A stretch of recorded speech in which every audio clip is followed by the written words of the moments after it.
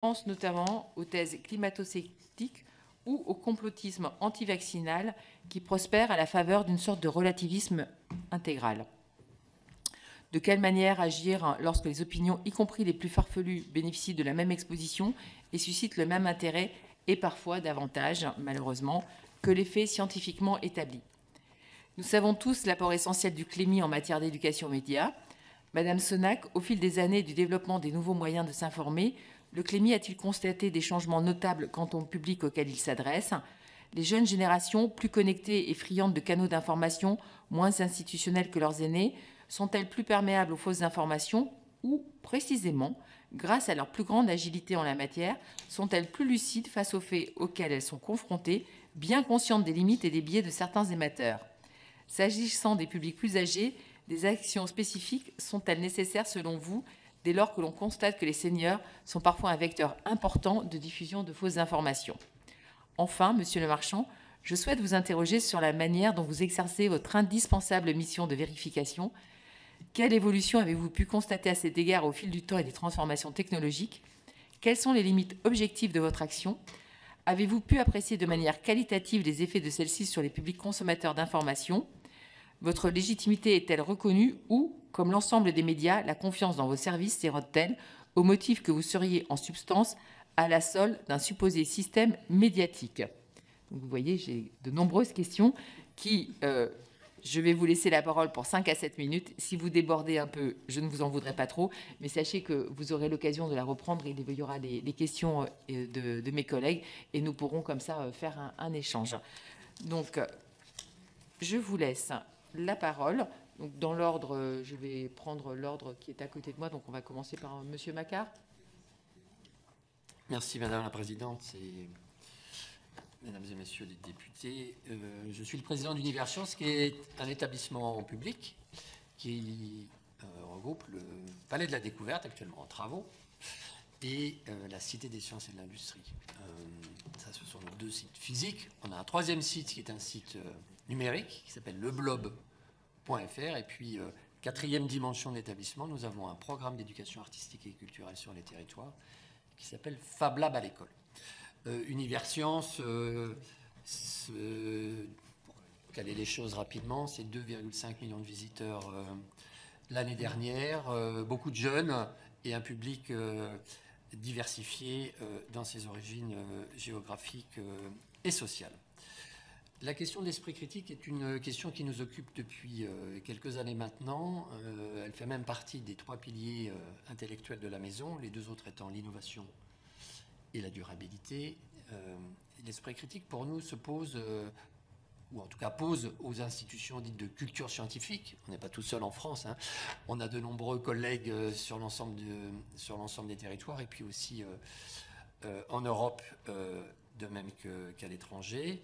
Euh, nous sortons d'un monde dans lequel euh, l'information était, je vais caricaturer, dans les livres, eux-mêmes mm. dans des bibliothèques, et on y avait accès par l'intermédiaire de nos maîtres. Euh, aujourd'hui, l'information, je ne vous apprends rien, elle est partout, accessible à tout moment, par tous, elle est totalement dérégulée, tout le monde est lecteur et auteur, il n'y a pas de hiérarchie, et la parole de chacun vaut celle de sa voisine ou de son voisin évidemment, dans ce contexte-là, nos, métiers ont changé. Il ne s'agit plus simplement de permettre à ce que chacune et chacun complète euh, ses connaissances, parce qu'il les a la plupart du temps, mais plutôt qu'on aide les gens à trier l'information et à la qualifier pour arriver à ce que chacun puisse avoir un avis euh, propre, fondé, euh, ce qui est par ailleurs la base d'une vie démocratique saine. Et sur ce, partant de ce constat, nous avons décidé de faire deux choses. La première, comme nous promouvons la science, c'est évidemment d'avoir un instrument de mesure. De quoi parle-t-on? Euh, Quel est l'état? Euh, La situation en matière d'esprit critique dans, notre pays.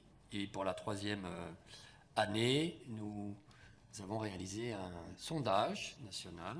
On avait les résultats synthétiques dans la brochure qui vous avez là, elle est bêche, elle, a deux entrées, qu'on appelle le baromètre de l'esprit critique, euh, qui est réalisé par Opinionway. et qui euh, vise évidemment à interroger les Français sur plusieurs sujets. Le premier étant euh, quel est leur rapport à la science. Le deuxième, comment ils s'informent, et de manière assez détaillée, parce que c'est important de voir comment les Français sont connectés à la sphère informationnelle, en ayant un découpage fin, en particulier en fonction de l'âge. Et puis troisième sujet, quel est leur rapport à l'esprit critique, je vais y venir, et comment est-ce qu'ils le, définissent. Alors, l'esprit critique aussi nous intéresse parce que la méthode scientifique, c'est une méthode du doute organisé. Il ne s'agit pas que tout le monde devienne hyper critique. Il doute de tout systématiquement par principe.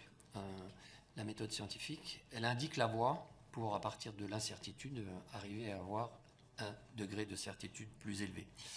Et puis corrélativement, nous pensons que la, la culture scientifique est un moyen aussi d'exercer son esprit critique parce qu'il faut connaître un certain nombre de grandes choses, assez simples finalement, mais pour, euh, pour être capable euh, de, de, comprendre le monde qui nous entoure, parce que le but du jeu, c'est de faire de chacune et de chacun euh, des citoyennes et des citoyens éclairés. On n'est pas là pour dire aux gens ce qu'ils doivent penser, mais on est là pour aider les gens à penser.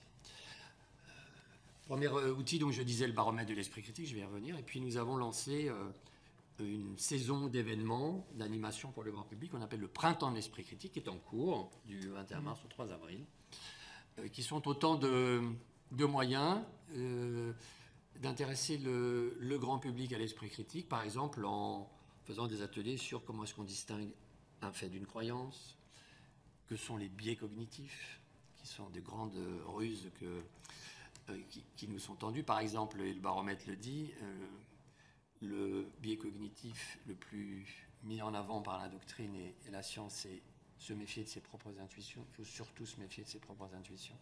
Et vous avez 14% des personnes interrogées qui pensent que c'est important de se méfier de ses propres intuitions, ce qui montre le chemin qui nous reste à parcourir. Et puis il y a aussi euh, euh, des activités qui permettent euh, de promouvoir l'éducation aux médias, mais là j'ai les spécialistes à ma droite. Nous sommes d'ailleurs partenaires actifs du Clémy et l'éducation aux médias fait partie d'ailleurs des, on va dire, du socle des connaissances que l'école euh, diffuse. C'est très très important et euh, on pourra peut-être en discuter, mais je pense que l'éducation à l'esprit critique, elle est dans le prolongement et que je sais que l'éducation nationale s'intéresse euh, beaucoup à ce sujet. Et alors, pour la première fois cette année, le printemps de l'esprit critique est devenu national, c'est-à-dire qu'on a, on a proposé à des collègues de programmer en même temps que nous sur le même sujet. Euh, et on a été débordé par le succès, puisqu'on croyait qu'on allait être une petite dizaine. En fait, on est une soixantaine. Et ce qui est très intéressant, c'est qu'il y en a partout en France. Il y a des institutions de toute taille. Et puis, on a débordé le champ habituel, si l'on peut dire, euh, de la culture scientifique, puisqu'on a intéressé de nombreuses bibliothèques, y compris de toutes petites médiathèques. On a intéressé euh, des institutions de recherche, l'institution de recherche pour le développement. On a intéressé l'Agence nationale du médicament, euh, puisqu'évidemment elle n'est pas totalement euh, insensible aux questions d'Infox sur, les vaccins. On a intéressé des écoles de journalisme, on a même intéressé les bibliothèques municipales de Barcelone. donc je pense que l'année prochaine, on aura encore plus de partenaires. L'idée étant qu'à un moment donné, la communauté de ceux qui sont intéressés à ces questions-là se réunissent pour promouvoir cette thématique et proposer au grand public un certain nombre de choses. Alors, le baromètre, par ailleurs, chaque année, il pose des questions sur un sujet qui change chaque année. La première année, c'était sur les vaccins. Mm. La deuxième année, sur le changement climatique. Et cette année, sur l'intelligence artificielle. Donc, par ailleurs, on a une photo euh, de ce que pensent les Français. Tous les résultats sont en accès libre euh, mm. pour tous ceux que ça intéresse. Alors, quelques mots quand même sur les Français et l'esprit critique. Quelle est la photo aujourd'hui que, que, nous avons euh, révélée La première, c'est que la majorité des répondants les trois quarts, 75%, se définissent comme ayant l'esprit critique. Euh, un quart donc répond par la négative ou ne se prononce pas. Alors quand on leur dit, mais c'est quoi pour vous l'esprit critique? Pour les, répondants, c'est d'abord le raisonnement logique et rationnel, à 44%. Ensuite, c'est le fait de s'informer avant de prendre position. Et là, l'AFP nous sera très utile. Et enfin, la capacité d'échanger avec des personnes euh, aux opinions divergentes, à 41%. C'est les trois caractéristiques euh, qui, ressortent. Et comme je le disais, euh, là, par contre, ce qu'on constate année après année, c'est que la connaissance des biais cognitifs, des biais cognitifs pardon, est, est très très faible et que là, il faut absolument qu'on travaille. Alors ensuite, une nette majorité considère pouvoir changer d'opinion sur la base de raisons convaincantes, 82%, c'est bon signe, dit comparer différents points de vue avant de se faire une opinion, à 78%, et pense important de remettre en question les croyances traditionnelles avec des preuves logiques et rationnelles, à 77%.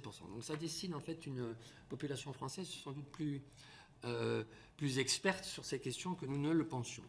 Alors, ce qui est très intéressant, c'est qu'on leur a demandé, mais avec qui est-ce que vous préférez échanger?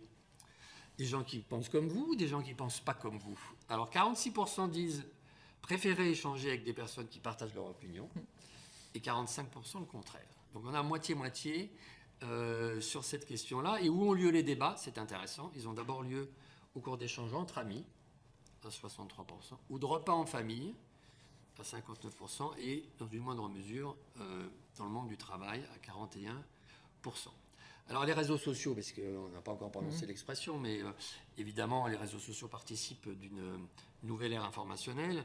Ils apparaissent comme étant beaucoup moins utilisés à cette fin par l'ensemble du panel, à 22%, même si la proportion augmente significativement chez les jeunes, significativement. 34% euh, chez les 18-24 ans et 44% chez les 25-34 ans qui font état d'un usage régulier ou épisodique des réseaux sociaux pour débattre. Alors, autre question, et puis je terminerai rapidement, c'est quels sont les enseignements qui ont permis à nos compatriotes, à nos concitoyens, de développer leur esprit critique durant leur scolarité? Et alors là, petite surprise quand même, les sondés pointent majoritairement le français et la littérature. Euh, les mathématiques, par exemple, sont deux fois moins citées. Donc quand on leur dit qu'est-ce qui vous a aidé à exercer votre esprit critique, à l'entraîner, ils disent le français et la littérature. Je n'ai pas forcément d'explication à ces réponses. Je livre d'ailleurs à votre sagacité.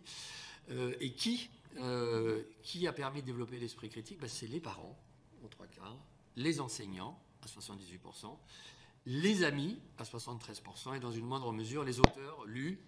Ce sont voilà, le trio de tête, c'est les parents, les enseignants, les amis, donc en fait, euh, la sphère proche. Alors on a catégorisé ensuite, euh, on pourrait y revenir si vous le souhaitez, euh, en, quatre groupes de répondants, comme le font les sondeurs, la population en, fonction des réponses, mais il, est clair que la, la, photo que nous avons est intéressante, et si vous voulez que je développe sur l'intelligence artificielle, on voit que les Français ont une attitude euh, raisonnée envers euh, l'intelligence artificielle. Ils y voient des avantages, ils y voient des inconvénients, euh, avec un fort gradient d'âge, puisque les jeunes ont, toutes choses égales par ailleurs, sur l'ensemble des items, une confiance plus grande envers les nouvelles technologies, envers la science, que le reste de la population. Voilà, Madame la Présidente. je ne sais pas si j'ai tenu le temps que vous m'aviez à peu près. donné. Merci, Monsieur Macquart. Madame Sonac. Alors, Bonjour à tous, merci beaucoup pour votre euh, invitation, Madame la Présidente. Euh, et par avant, je m'en excuse, je dois vous, vous quitter euh, pour un impératif relativement tôt.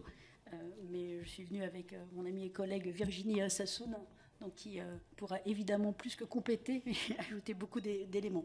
Peut-être si vous me, le permettez, je suis euh, à, la fois effectivement, je suis, comme vous l'avez dit, euh, présidente du, COP du, du, CLEMI, donc Comité d'orientation et de perfectionnement du, Comité de liaison d'éducation aux médias et à l'information. Je suis également donc, professeur en, sciences de l'information et de la communication à l'Institut français de presse et spécialisée dans le monde de l'économie des médias. Donc si vous me le permettez, je vais peut-être faire un, un contexte général avant que nous plongions tous dans, cette, euh, dans la problématique que vous avez posée, parce que ça me semble important de, rappeler qu'en fait, euh, depuis 20 ans, en tout cas dans le contexte, euh, plateformes et médias sociaux ont envahi l'espace informationnel, et comme vous venez effectivement de, le dire, Monsieur Bruno Macquart, et quel constat on peut déjà tirer? D'une part, une concurrence totalement asymétrique entre les réseaux sociaux et les médias traditionnels en matière de régulation, et c'est un point qui, qui est essentiel, sur lequel on aura peut-être l'occasion de revenir une perte de repères euh, euh, informationnels, notamment de la part des, plus jeunes qui accèdent majoritairement à l'information via euh, ces plateformes et ces réseaux sociaux.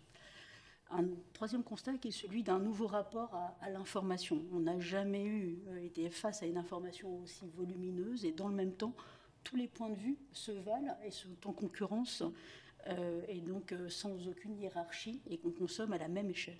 Le dernier constat, c'est que le modèle économique des médias est en train de, vaciller parce qu'ils perdent l'ensemble de leurs consommateurs, massivement par exemple pour, que pour la presse, et ils perdent également leur financement publicitaire. Une fois encore, la presse écrite a perdu 70% de ses revenus publicitaires en l'espace de 15 ans.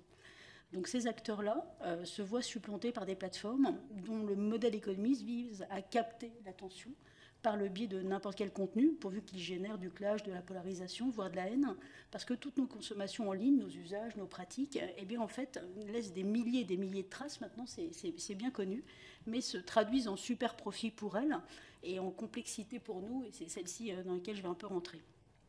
Euh, rappeler peut-être en deux mots que le, rôle des, médias tels que nous les connaissons euh, joue euh, un rôle indispensable.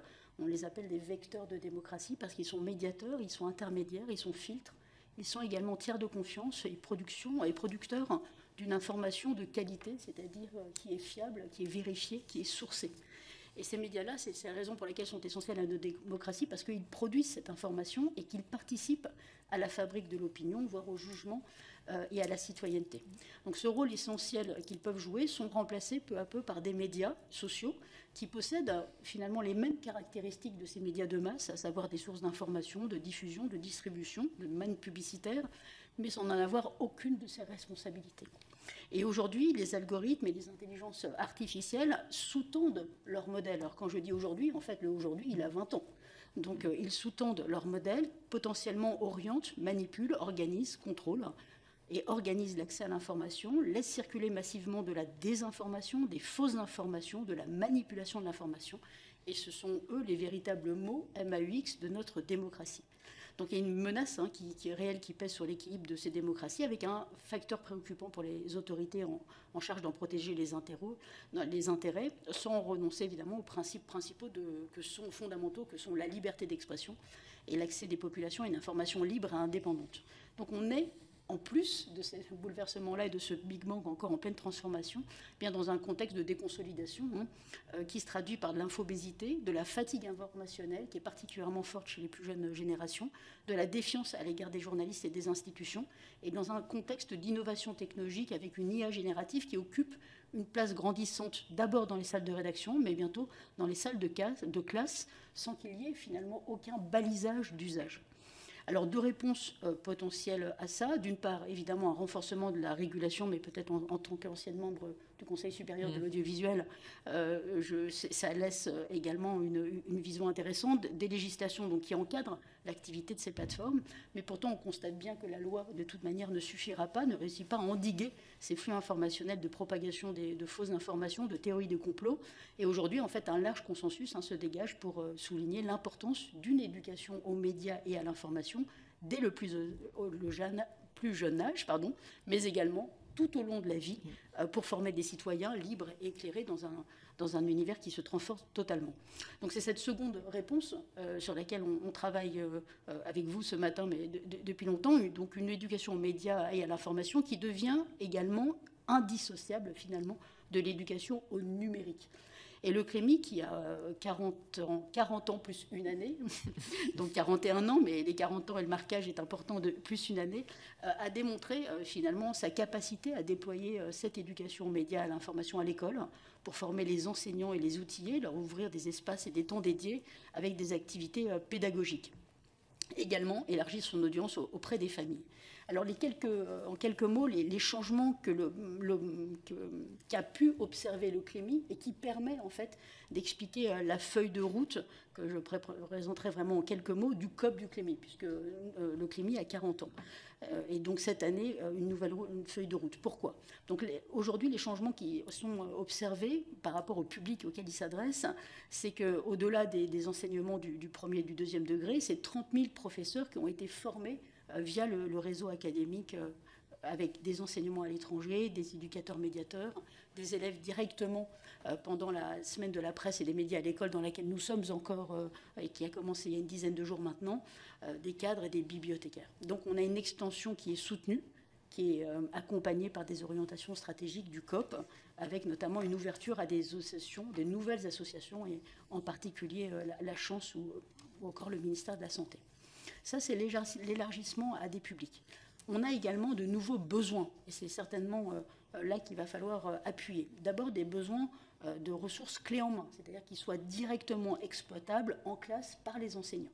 Ensuite, un besoin de collaboration avec des familles depuis l'école. Il faut absolument embarquer les familles, vous le soulignez précédemment, et clairement le Clémy en fait le même constat. Ensuite, c'est une action au, cadre national euh, avec des reconnaissances euh, de compétences à l'échelle européenne et internationale. Et puis évidemment, une association, certainement évidemment parce que je, suis professeur à l'université, une association avec le monde de, la, de, la, recherche. Donc il nous faut de nouvelles modalités d'action qui existent déjà, mais qu'il faut euh, considérablement augmenté. Et puis ce que l'on constate, c'est également des nouvelles thématiques qui sont demandées. Il faut encore, hein, c'est un travail mené, Virginie Sassoon pourra l'expliquer, qui est mené longuement sur le terrain depuis de longues années. Donc c'est aussi une remontée du terrain, c'est pas une vue d'esprit, c'est une remontée des terrains, du terrain de la part des enseignants, de la part des, des, euh, professeurs documentalistes, de la part des élèves.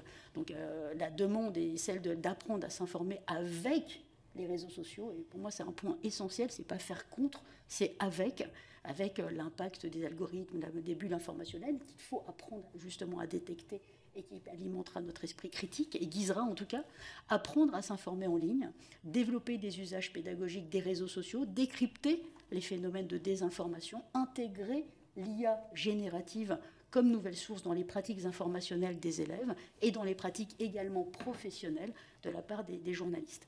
Ce que l'on constate, mais peut-être pour aller plus vite, une plus grande perméabilité des jeunes aux fausses informations comparativement à leurs aînés, et dans le même temps, leurs aînés propagent euh, plus facilement des fake news euh, en, ligne. Je ne développerai pas sur euh, ce, point-là.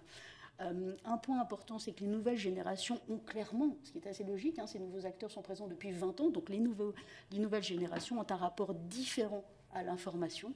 Euh, pas mal de travaux euh, de chercheurs le, mettent en évidence, qu'il y existe des différences socioculturelles entre des jeunes qui sont issus des milieux populaires et qui ont tendance à moins s'informer que par exemple des étudiants qui sont issus de milieux plus aisés sur l'actualité politique notamment, et puis des jeunes, comme je le disais précédemment, qui sont plus sensibles à la fatigue informationnelle. Tous les chiffres euh, le mettent en, évidence. Peut-être un point important euh, c'est cette volonté euh, d'agir maintenant euh, et de se tourner et de ne pas se, finalement se concentrer uniquement sur les plus jeunes, mais d'aller tout au long et de faire de l'intergénérationnel. Et donc la création d'une éducation aux médias, à l'information qui favoriserait une collaboration intergénérationnelle nous semble véritablement importante. Deux mots pour, pour terminer. Euh, en qualité effectivement de, président du, COP du Clémy, avec toutes les équipes. Hein. c'est vraiment euh, euh, le Clémy, c'est une instance qui est collégiale, c'est composé de 60 membres avec trois collèges différents, des représentants des pouvoirs publics, des représentants des professionnels de l'information, des représentants également du système éducatif. Donc c'est vraiment un retour de, et des échanges multiples que nous avons avec le terrain, c'est en essayant d'embarquer finalement des acteurs qui viennent de disciplines, qui viennent d'univers différents, mais dont tous euh, participent à cette euh, volonté de, changement et d'adaptation. Euh, avec toutes les équipes, on a créé, rédigé une nouvelle feuille de route justement pour 40 plus 1 du Clémy sur la période 2024 et 2030 avec cinq axes qui sont indépendants mais complémentaires et je terminerai là-dessus. Un premier axe, c'est la volonté de renforcer les partenariats du Clémy. Je vous disais que nous étions très ouverts. Je pense qu'il faut qu'on aille plus loin en embarquant absolument de façon systématique les acteurs des plateformes numériques et les acteurs des réseaux sociaux. Ce sont vraiment un élargissement qui est indispensable de les embarquer avec nous au sein du COP du Clémy. Deuxième action, c'est renforcer les actions de formation du Clémy. On voit bien que cette formation de 30 000 professeurs, on pourrait considérer que c'est énorme. C'est énorme sur le terrain, surtout pour une, une équipe qui est insuffisamment dotée. Hein. L'équipe du Clémy, c'est une vingtaine de, personnes en national. C'est beaucoup de travail et beaucoup d'acteurs qui sont également mobilisés sur le terrain, mais ce sont des moyens qui sont très largement insuffisants par rapport aujourd'hui à l'urgence dans laquelle nous nous trouvons. Donc renforcer des actions de, de formation pour euh, renforcer la formation des formateurs, Troisième axe, c'est renforcer les missions du CLIMI dans le champ de la parentalité numérique. Et Virginie Sassoon a déjà engagé ce terrain il y a bien longtemps, vraiment précurseur euh, en, la matière, mais qui, a de nouvelles encore propositions pour aller plus loin. Quatrième axe, c'est poursuivre l'effort d'ouverture du CLEMI en direction de l'enseignement supérieur. Et ça, je pense que ce lien aujourd'hui de cette ouverture que l'on doit faire, médias, école, mais maintenant, quand on parle de l'école, éducation nationale, mais éducation nationale avec le monde de la recherche. Ce travail en silo doit complètement aujourd'hui être déconstruit pour pouvoir euh, changer d'échelle. Et ce changement d'échelle est impératif. Et enfin, dernier élément, ce renforcement avec la coopération européenne et internationale de l'EMI ça aussi, on ne peut pas rester non plus dans notre champ de bataille qui est uniquement le territoire national. Il faut, là encore, ça existe déjà, tout ça sont des actions de renforcement avec une nécessité de moyens supplémentaires. Merci beaucoup. Merci beaucoup, Madame Sonac. Donc, je vais maintenant passer la parole à Monsieur Lemarchon. Euh, merci beaucoup, Madame la Présidente, euh, Mesdames les députés. Euh, je vous remercie vraiment pour votre invitation et, pour l'opportunité qui m'est offerte aujourd'hui en introduction de cette table ronde, de vous présenter un peu plus en détail le travail de l'AFP en matière de lutte contre la désinformation. Et après les propos de Monsieur Macquart et Madame Sonac, je pense qu'il y a une forme de logique. voilà. la lutte contre la désinformation, c'est vraiment aujourd'hui un c'est au cœur de l'activité de l'agence France Presse, euh, une priorité éditoriale évidente au regard du, chaos informationnel en France euh, et, dans le monde, puisque comme vous le savez, l'AFP, c'est vraiment une agence euh, mondiale globale, ce n'est pas uniquement en France, évidemment. Et la lutte contre les informations, c'est partie intégrante de notre mission d'intérêt général qui est inscrite dans la loi. Aujourd'hui, l'AFP se, se repose sur un réseau de près de 150 journalistes spécialisés dans l'investigation numérique et la lutte contre les AFOX. Euh, répartis dans, plus de 30 de, nos bureaux. Je ne vais pas vous faire la liste, mais pour vous donner une idée, c'est évidemment Paris, mais c'est aussi à Rio, c'est à New Delhi, à Dakar, à Washington, à Buenos Aires, à Sydney ou à, Manille. Et nous travaillons en 26 langues et tout ce que nous produisons est, évidemment accessible à, tous, à tous les internautes, à tous les citoyens sans abonnement. Ce réseau, qui euh, n'a vraiment aucun autre équivalent dans le monde, euh, profite de surcroît euh, de l'expertise de l'ensemble de la rédaction de l'AFP, qui est composée de 1700 journalistes répartis dans 150 pays avec plus de 200 nationalités. En retour, ce réseau de, journalistes spécialisés rend notre rédaction plus forte et, mieux armée. Il n'en est fait aujourd'hui plus un événement majeur euh, qui ne soit tordu, lessivé, essoré par une désinformation qui tire habilement profit de l'extraordinaire puissance du numérique et des réseaux sociaux. Le récent effondrement du pont à Baltimore aux États-Unis est un exemple parfait.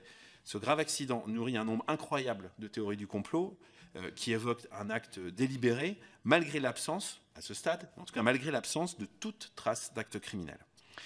Notre réseau, qui démystifie autant qu'il est possible les manipulations et les falsifications tout autour du monde, œuvre à ce qui demeure notre mission première à l'AFP, rapporter les faits et rien que les faits.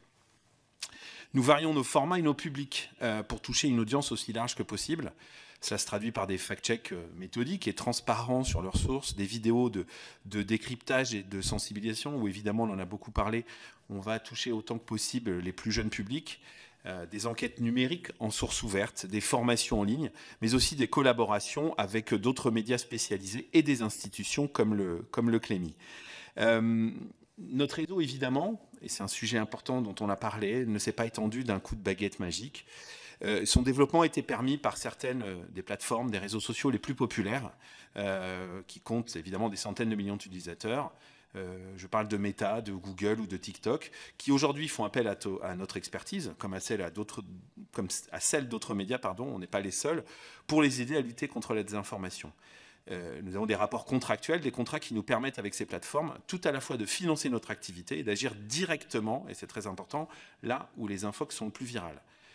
Euh, des contrats de collaboration qui, et je le souligne vraiment avec force ici, respectent en tout point notre indépendance et nos choix éditoriaux. Euh, tout porte à croire que, que, notre investissement contre les infox sera encore plus essentiel dans les prochaines années l'incroyable accélération des technologies numériques, on a beaucoup parlé euh, d'AI, offre d'intelligence artificielle, pardon, offre de nouvelles armes pour tous ceux, alors qu'ils soient puissances étrangères ou extrémistes de tous bords, en tout cas tous ceux qui ont intérêt à attiser euh, polarisation et peur, à remettre en cause les politiques de santé publique ou de changement climatique, à saper la légitimité des institutions publiques, à nier le résultat d'élections démocratiques ou à s'en prendre à certaines communautés ou minorités. Longtemps, nous avons considéré que la mission première de l'AFP, c'était de rapporter sur des faits avérés, jamais des rumeurs et les on-dit. Et puis à partir de 2016-2017, la manifestation de plus, plus ostentatoire des faits, jusqu'à l'évocation au plus haut niveau, et je cite, entre guillemets, de faits alternatifs, euh, a achevé de nous convaincre que nous ne pouvions plus rester les bras croisés. L'agence a alors euh, décidé de se lancer dans la bataille, et nous avons vu depuis à quel point la désinformation pollue, pourrit et euh, brise le désir de faire société. lutter contre les infox, c'est un combat très inégal. Désinformer prend quelques secondes, ne coûte presque rien et peut avoir un effet maximum. Répondre avec des faits, de la nuance, du contexte prend nettement plus de temps. Une image ou un faux audio sont générés en quelques secondes par une intelligence artificielle et diffusés aussi vite. Détecter la manipulation, pointer les incohérences, recouper notre démonstration avec des sources fiables est nettement plus long. La désinformation, c'est la plupart du temps peu sophistiqué, c'est un bruit de fond permanent qui sape peu à peu les fondements de notre société démocratique. Nos équipes sont donc mobilisées dans la durée. Euh, évidemment, nous croyons fermement à notre mission. Et malgré l'impression, euh, parfois, de devoir écoper l'océan avec une petite cuillère, malgré le cyberharcèlement, hélas, qui vise de plus en plus nos journalistes, parce que le retour du bâton peut être violent quand on démasque les menteurs, les manipulateurs, pour qui la, pour qui la désinformation, et c'est aussi un moteur essentiel, parce que souvent on nous pose la question pourquoi les gens désinforment? Ben, Parce qu'il y a beaucoup d'argent aussi à se faire quand on désinforme, il y a beaucoup d'argent à se faire quand on mise sur la colère et la polarisation. Mais malgré tout cela, nos journalistes font face. Vérifier, remettre en contexte est l'essence même du journalisme. Euh, nous sommes bien conscients que les médias, que, pardon, nous sommes bien conscients que les médias sont parfois accusés, à tort ou à raison, et hélas parfois à raison, de participer aussi à la dissémination des infox. C'est pourquoi il est essentiel pour nous de nous en tenir à des standards éditoriaux irréprochables et à de vraies politiques de transparence et d'éthique dans notre production d'information. Néanmoins, j'insiste sur ce point, si la vérification et la démystification est indispensable, elle n'est pas suffisante. C'est une riposte face à la désinformation, mais ce n'est certainement pas la seule. Les fact-checkers, pardonnez-moi l'anglicisme, je préfère un terme de vérificateurs, les fact-checkers de l'AFP euh, euh, ou, ailleurs, hein, évidemment, on n'est pas les seuls, n'ont nullement, et j'insiste sur ce point, n'ont nullement la prétention d'être en mesure de régler le problème, euh, pas plus qu'ils ne sont des, je cite, des gardiens de la vérité ou des censeurs au service des puissants, vous y faisiez allusion dans votre introduction, Madame la Présidente, comme nous le reprochent souvent nos plus ardents critiques. nous tentons humblement de remettre des faits là où les manipulations et les biais biais que nous avons tous, évidemment, obscurcissent la perception de, la réalité. L'essentiel de notre travail, ce n'est pas tant d'arbitrer ce qui est vrai ou ce qui est faux, on ne met pas des coups de tampon, mais bien plus d'expliquer que les choses sont bien plus compliquées qu'on ne le pense, de donner plus d'informations fiables, de contexte, de donner des clés de compréhension aux citoyens pour sortir d'une vision binaire et mieux appréhender le monde éminemment complexe dans lequel nous vivons. Madame la Présidente, je vous remercie. Merci, Monsieur le Marchand. Merci à, tous les trois pour euh, d'avoir euh, dressé ce, portrait euh, de finalement l'esprit critique face à la presse, face aux médias ou aux nouveaux médias. Madame Sonac, vous avez parlé justement aussi en fait de, des médias traditionnels et, finalement des, des, nouveaux médias. Et j'aurais des questions euh, pour approfondir euh, cela, mais je vais laisser la parole à, mes collègues, si elles le souhaitent, pour poser une question. Béatrice Bellamy? Oui, alors je te donne le micro. Voilà, c'est bon, hop, appuie. Oui, merci Madame la Présidente. Merci à vous, messieurs, dames, de, nous éclairer de bon matin sur l'esprit critique. Et euh, j'aurais une question qui s'adresserait plus particulièrement à Madame Sonac sur votre intervention. vous disiez tout à l'heure que euh, la, création d'une éducation aux médias, apprendre à s'informer, c'est aussi embarquer les familles avec l'école. Donc j'ai envie de vous dire comment, comment s'adresser aux familles, comment les intéresser sur ce sujet. Et également, vous avez cité les nouvelles thématiques, et la, question est la même. Je pense qu'on a aussi besoin, parce que on entend, c'est vrai, le message, et je le partage, mais on a besoin aussi d'avoir une explication de texte et d'avoir euh, euh, l'aspect pratique, comment rentre-t-on en contact, comment fait-on cohabiter ces, deux univers? Merci Madame la députée. Véronique euh, de Montchalin. Euh, juste, j'aurais posé la même question. Comment est-ce que vous allez... J'ai été enseignante, donc j'ai connu le CLEMI. Comment est-ce que vous allez embarquer les familles? Ça me paraît quelque chose de très complexe, a priori. Voilà. Merci. Alors, Madame Sonac. Alors, attendez, je vous redonne. Voilà, c'est bon, vous avez le micro. Non, non, non, mais c'est pas ça. C'est que, en fait, c'est pour avoir le micro, qu'on vous entende bien et que ça passe bien dans l'enregistrement. Donc là, vous pouvez y aller maintenant. Je vous remercie. Merci pour. Je vais donner euh, bah, juste la parole directement à Virginie Sassoon, qui est pile poil dans son euh, terrain de jeu et qui, euh, et qui est beaucoup plus qui est sur le terrain et qui, qui va pouvoir répondre à vos questions. Merci euh, Madame la Présidente, merci pour ces, questions. Alors peut-être déjà rappeler, même si Nathalie l'a fait, les quatre grandes missions du clinique sont la formation des enseignants, qui reste quand même le cœur du, métier du clinique, puisqu'on forme 30 000 euh, enseignants par an, même s'il y a un élargissement des, publics à travers nos réseaux académiques. La production de ressources euh, pédagogiques sur les nouvelles thématiques aussi que, Nathalie a évoquées. L'accompagnement à la création de médias dans les établissements scolaires, que ce soit des web radios, des web télé, des journaux et puis la dernière grande mission, c'est de faire le lien entre le monde des médias et le monde de l'école. Donc euh, ça a été évoqué, on est en pleine semaine de la presse et des médias dans l'école. C'est une grosse action éducative qui mobilise plus de 4 700 000 élèves et 290 000 enseignants. Alors pour vous répondre précisément sur les parents, moi je suis arrivée au CLIMI il y a 8 ans. Et c'est une question qui m'a paru absolument cruciale puisque euh, euh, la socialisation informationnelle, les pratiques informationnelles des enfants, elles se forment dans euh, la famille, auprès des parents. Bien souvent, il y a une imitation aussi des pratiques informationnelles des, enfants vis-à-vis des adultes. On le voit bien sur la consommation de radio, de presse écrite, de télévision. Donc pour les toucher, ces parents et ces familles depuis l'école, mais aussi en dehors de l'école. On s'est appuyé sur le conseil d'orientation et de perfectionnement qui est présidé par, euh, Nathalie, euh, dans une logique interministérielle. Et au départ, la première action que nous avons menée, c'est un guide euh, qui s'appelle Le guide de la famille tout écran, qui est un guide qui vise à mettre les principes de l'éducation média à l'information au service du plus grand nombre. C'est-à-dire comment apprendre à s'informer, comment accompagner son ado sur les réseaux sociaux, comment euh, le protéger des contenus inappropriés, comment s'impliquer en tant que parent. Ça, on l'a fait avec le ministère de la Culture, la Caisse nationale des allocations familiales, les associations d'éducation populaire, les fédérations de parents d'élèves. En fait, on a monté un consortium d'acteurs qui sont au contact des familles en dehors de l'école, bibliothèque, médiathèque, euh, la diffusion euh, de ce guide elle a été effectuée à travers les réseaux aussi euh, euh, euh, des, réseaux associatifs de l'éducation populaire et aussi les centres sociaux partout, partout en France. Et on a aussi fait le pari de la fiction, puisqu'on voulait avoir un ton qui n'était pas institutionnel et descendant. Donc on a créé une famille fictive qui s'appelle la famille tout écran, avec des parents qui ne sont pas des modèles, des parents qui se posent des questions, qui ont des difficultés, qui en rencontrent au quotidien, avec trois enfants de 4 ans, 8 ans et 16 ans qui sont des âges critiques pour différentes raisons dans le rapport au numérique au quotidien. Et on a déployé cette famille, donc au début dans un guide qui a été diffusé, comme je vous le disais, dans l'école, mais aussi en dehors de l'école pour toucher les parents avec tous les acteurs qui entourent le Clémy, euh, qui sont les partenaires du Clémy.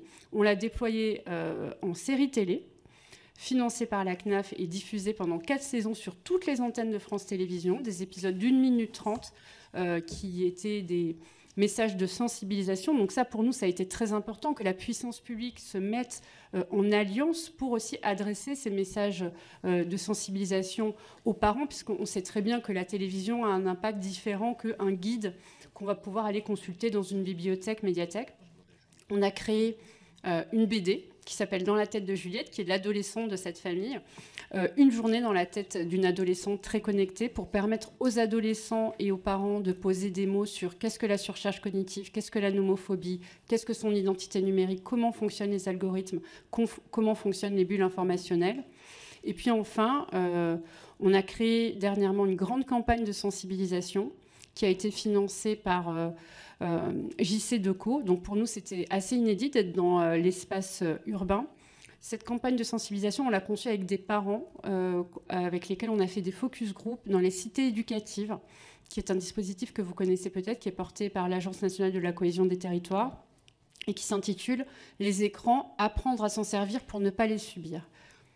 Et autour de cette campagne de sensibilisation, qui a été diffusée à 1 600 000 exemplaires cet été, euh, nous avons produit un kit pour les professionnels qui sont au contact des familles pour animer des cafés par an et des ateliers euh, sur les différents sujets. Voilà, j'espère avoir répondu à votre question. Merci beaucoup. pour, pour ces réponses. Monsieur Macquart, vous voulez ajouter? Oui, nous, nous avons, de manière complémentaire à ce tout ce que fait le CLEMI, décidé d'utiliser les bibliothèques.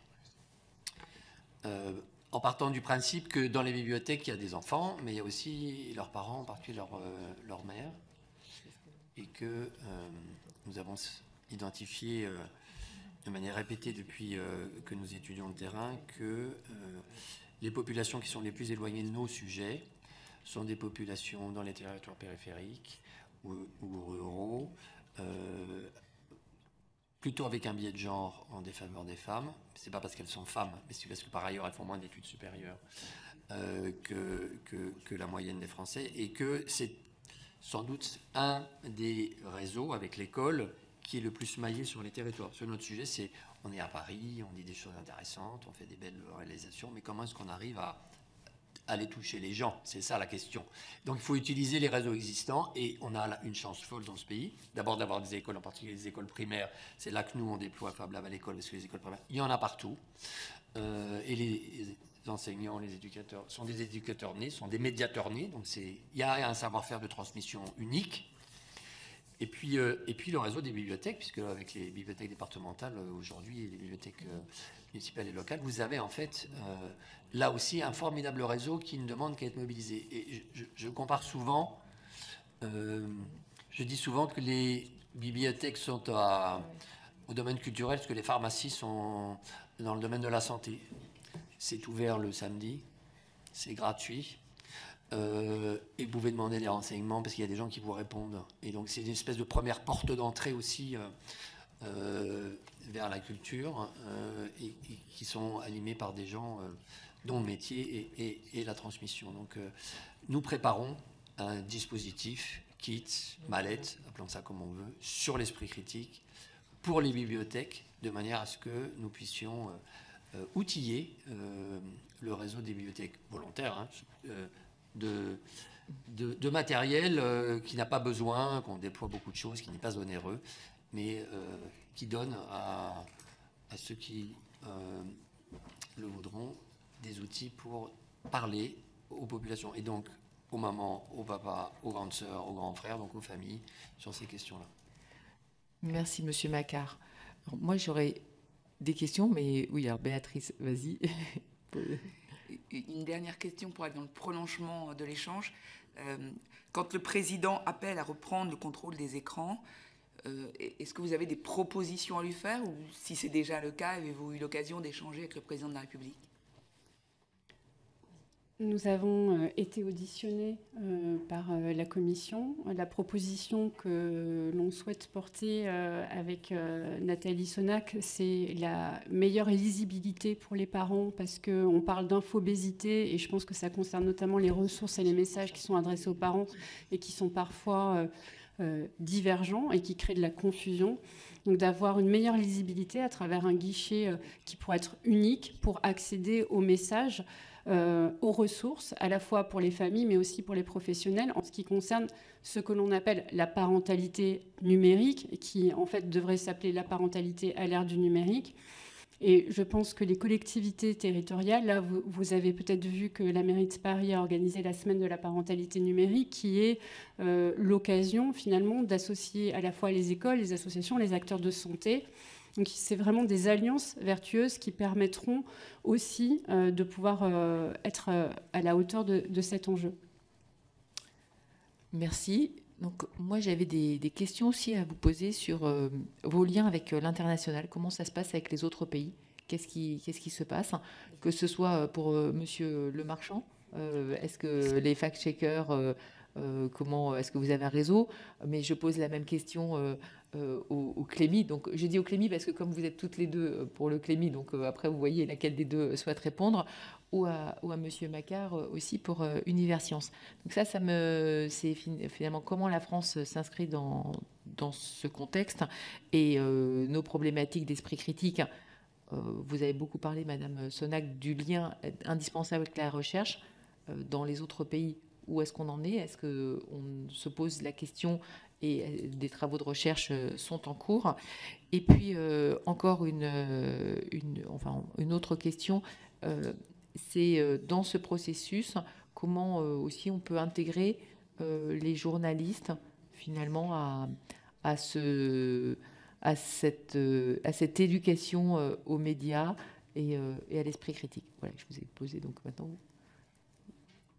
Merci Madame la Présidente. Alors, par rapport, euh, on va dire, à une perspective plus, plus internationale, plus globale, donc comme, comme je vous l'expliquais dans mes propos liminaires, l'AFP est vraiment une agence globale. Donc, euh, nous sommes effectivement euh, partout dans le monde, ce qui nous permet effectivement d'avoir des relations étroites et, coordonnées parfois avec des acteurs, des acteurs locaux.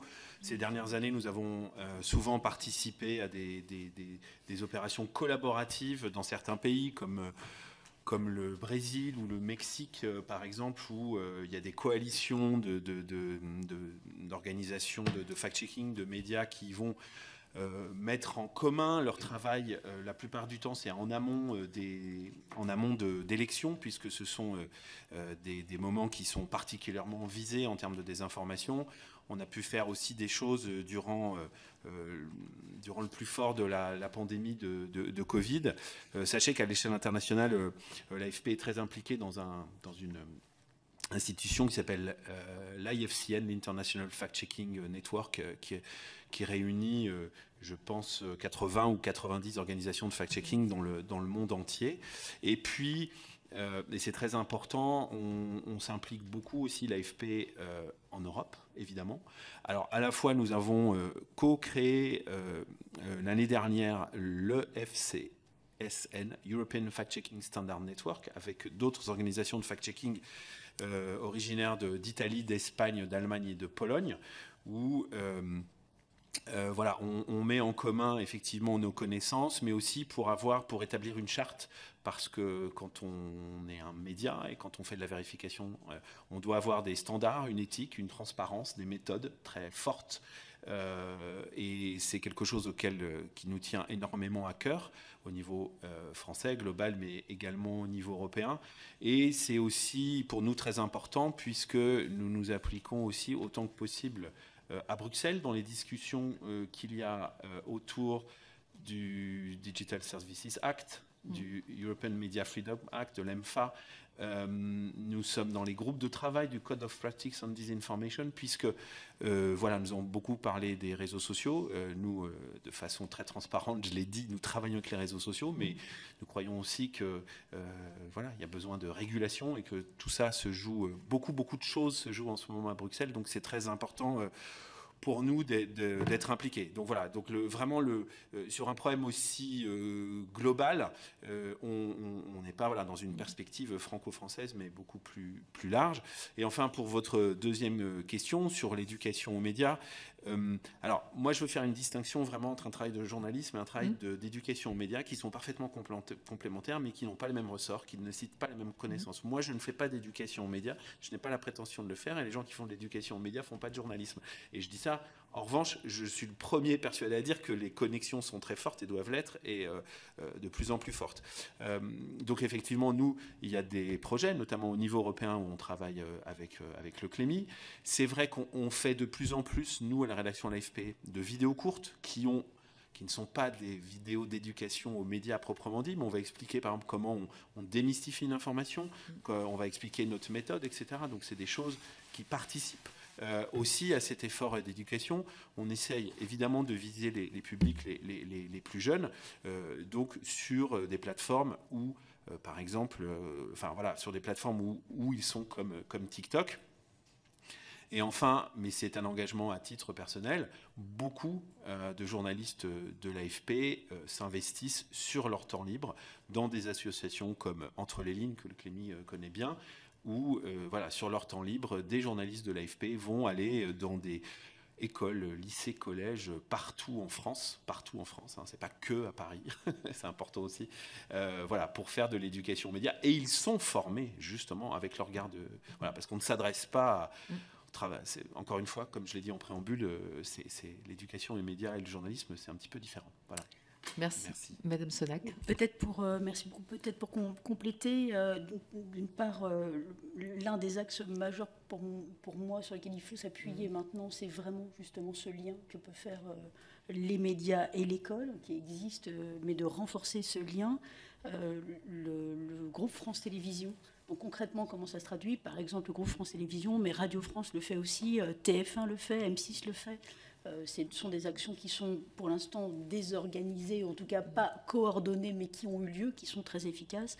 On doit être au quatrième ou au cinquième tour euh, de, Tour de France du, groupe France Télévisions euh, en matière d'éducation aux médias et à l'information. Donc le dernier a eu lieu à Montpellier, le prochain, donc il y, a, il 15 jours, et le, prochain aura lieu à Marseille, donc dans, dans trois semaines. Donc à peu près tous les mois et demi, il y a ce Tour de France qui se fait en partenariat avec des journalistes.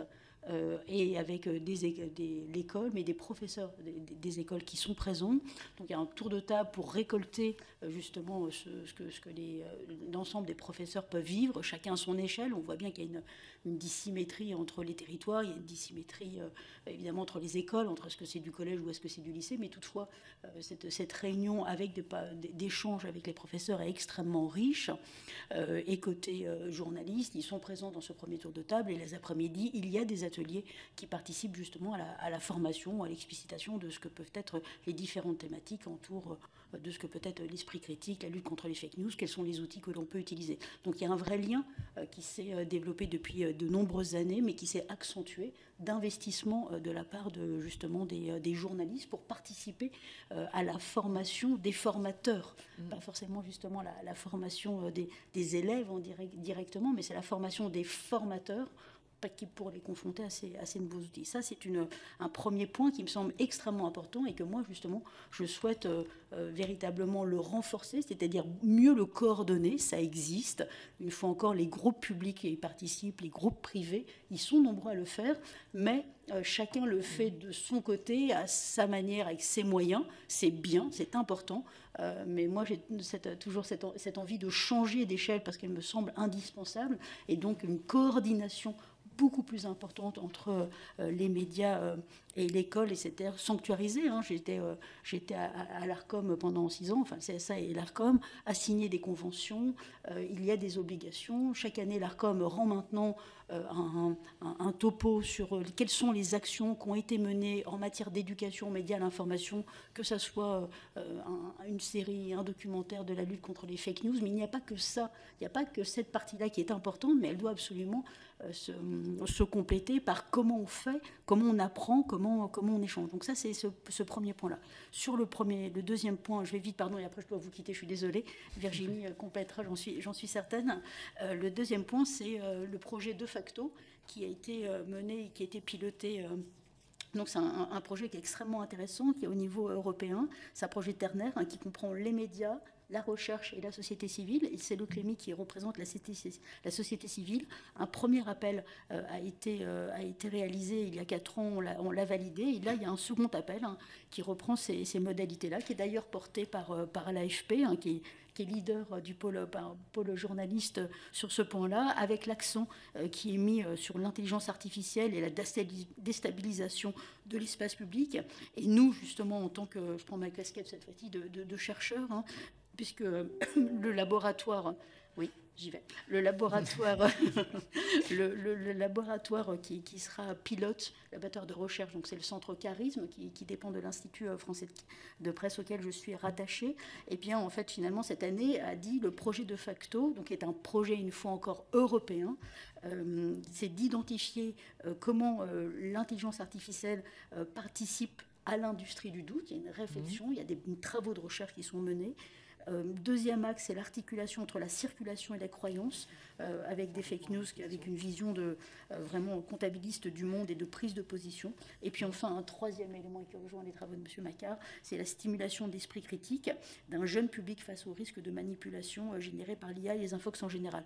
Donc vous voyez, en fait, hein, vraiment les, terrains, peut-être le, point pour moi central à, retenir, c'est le travail en commun, c'est faire ensemble, c'est croiser absolument en matière euh, d'éducation et de recherche la notion d'interdisciplinarité qui est indispensable. Hein, tout à l'heure, vous faisiez référence, euh, Madame la députée, euh, au rapport écran qui a été mis en place par, par Monsieur le Président de la République, auquel effectivement nous avons été auditionnés. Eh bien, il est piloté également par des scientifiques, des cognitivistes, parce que c'est ensemble qu'on peut comprendre ce phénomène. seul dans son silo, ça ne peut pas fonctionner. moi, j'ai vraiment ce, souci de, ce, de cette interdisciplinarité et de mise en commun.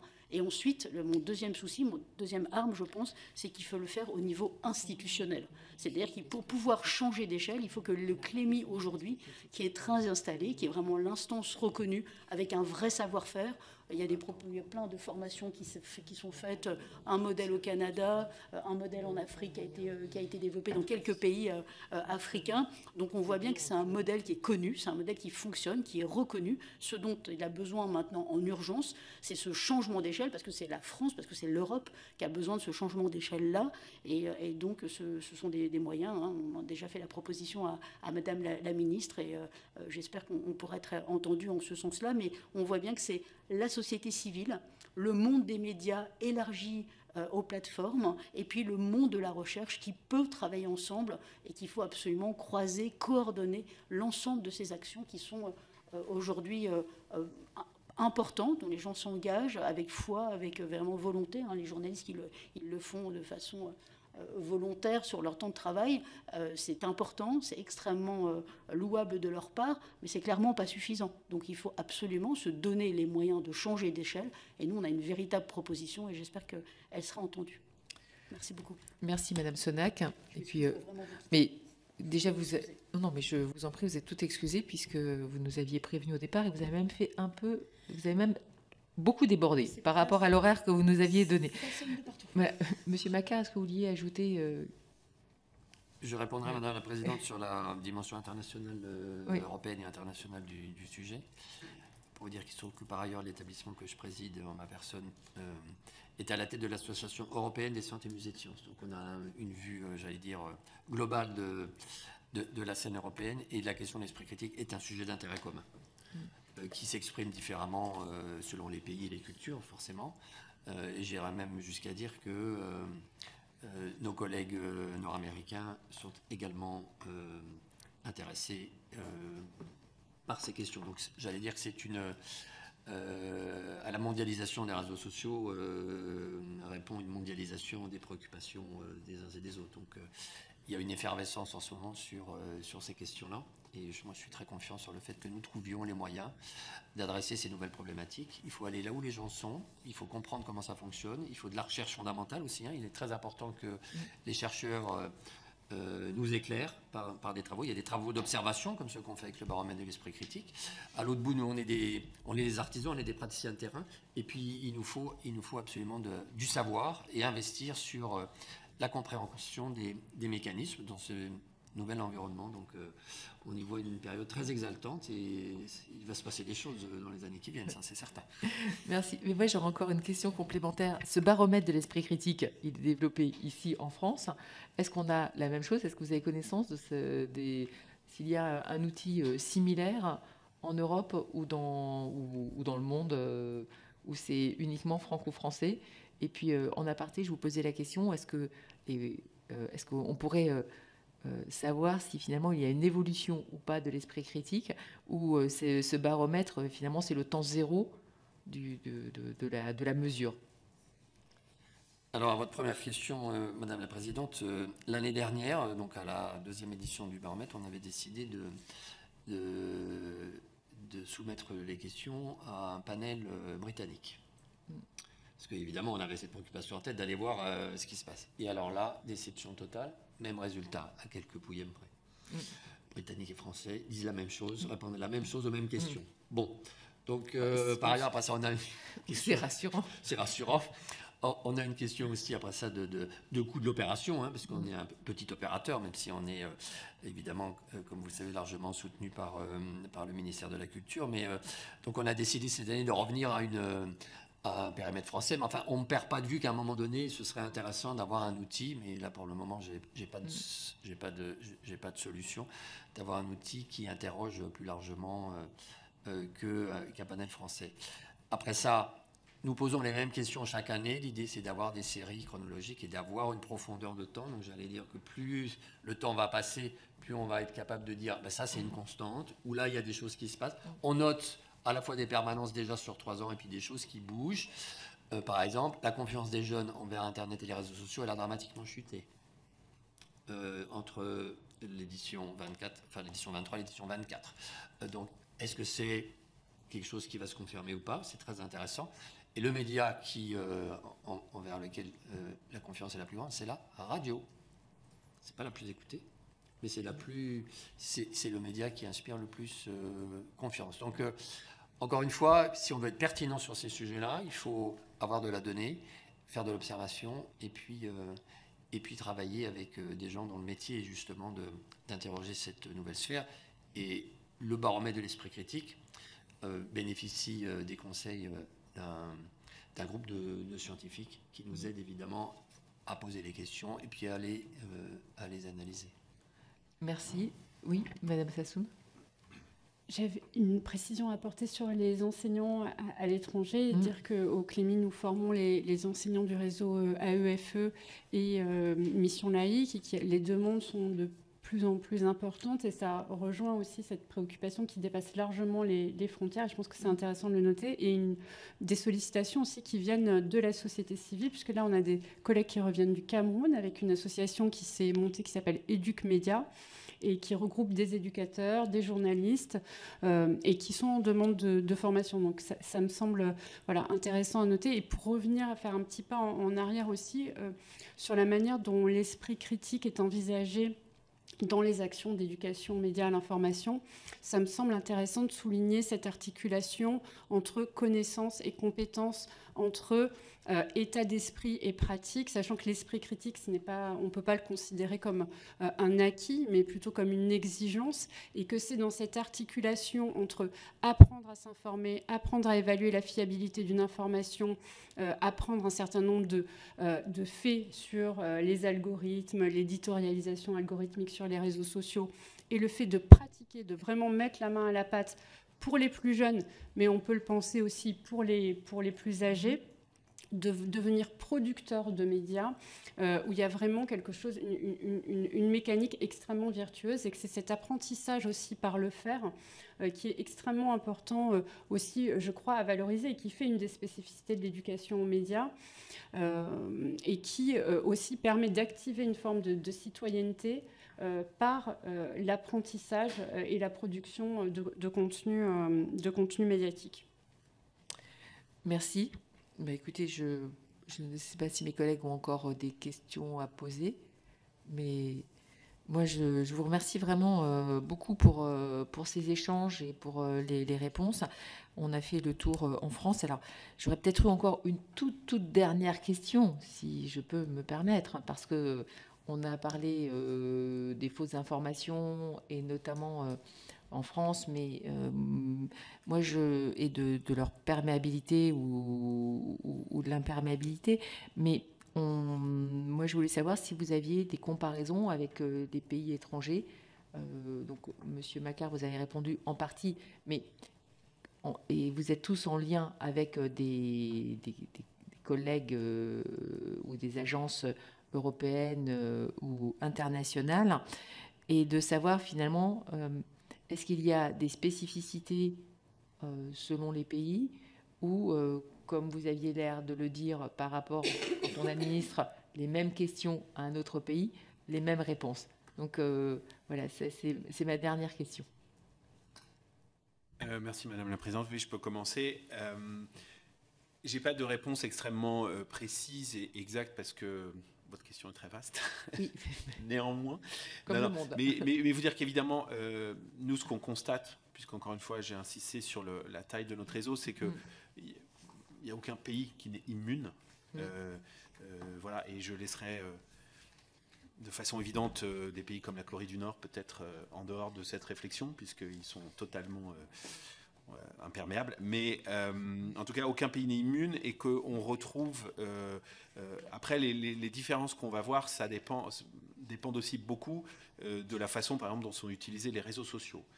si vous prenez par exemple l'Amérique latine ou l'Afrique subsaharienne, beaucoup de la désinformation circule sur les messageries cryptés, euh, du style évidemment euh, WhatsApp, euh, Telegram.